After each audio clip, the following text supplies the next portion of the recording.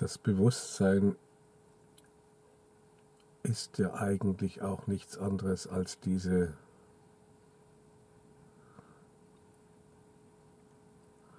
aufgespannte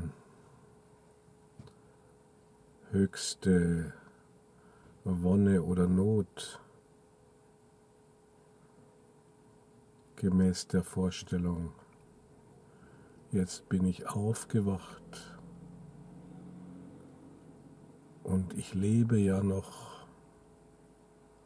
Hurra! Und jetzt bin ich noch nicht tot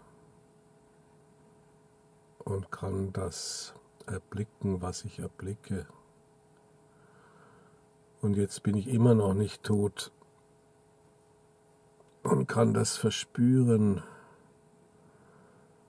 was sich da bewegt und atmet in mir. Und jetzt bin ich immer noch nicht tot. Und das ist schrecklich, wie überwältigend fantastisch oder schön es ist. Und jetzt bin ich immer noch nicht tot. Und es ist fantastisch, wie ich gerade wieder dem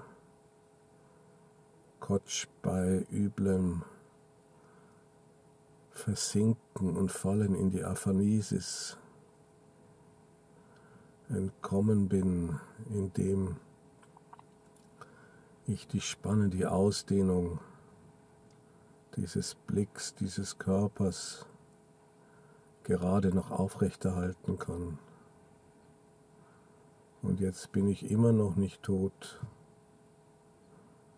weil ich ja all das verspüre, denke und nicht, nicht da ist und weg ist und so weiter. Diese in jeder Sekunde mit jeder Atmung auflauf, ab, ablaufende Wiedererzeugungsmoment des Existierens und im Kontrastprogramm zu seinem möglichenfalls ja sonst nicht Existenz gewesen sein hätte können.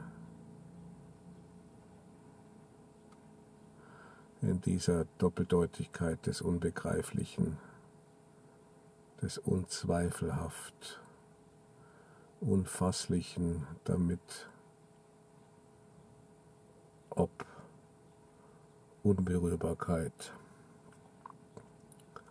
das nächste Fassbare und Berührbare und Begreifbare, Begreifbare erreicht wäre, werden, werde im Ergreifen des Kairos.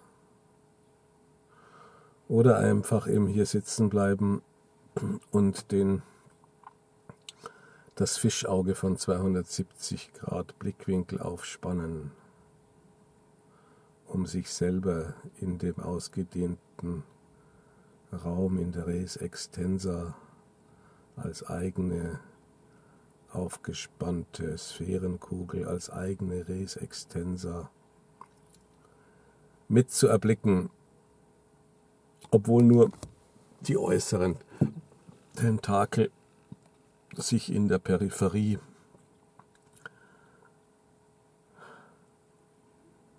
des Seefeldes an den Seitenbegrenzungen wahrzunehmen vermögen.